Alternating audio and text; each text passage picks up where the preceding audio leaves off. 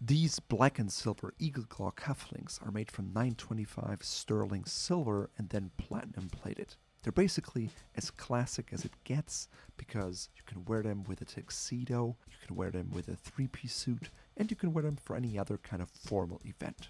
So, what makes these cufflinks so special? First of all, they're inspired by actual eagle claws and the designer Jean Schlumberger, which created nature inspired designs for Tiffany & Co.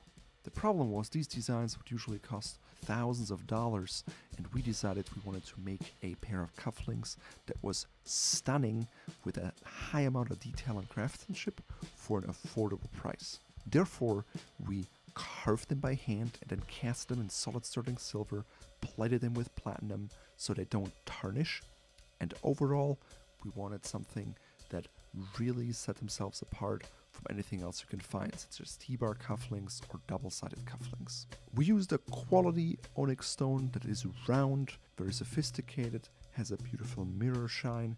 These cufflinks are not suited for informal outfits such as tweed or flannel or checks. If you want to wear those things, I suggest you go with either our lapis lazuli cufflinks, our tiger's eye cufflinks, or a malachite or our carnelian. These are for formal only, and if you attend those events, you will not regret buying those because they will always make you stand out from the crowd and compliments will be guaranteed.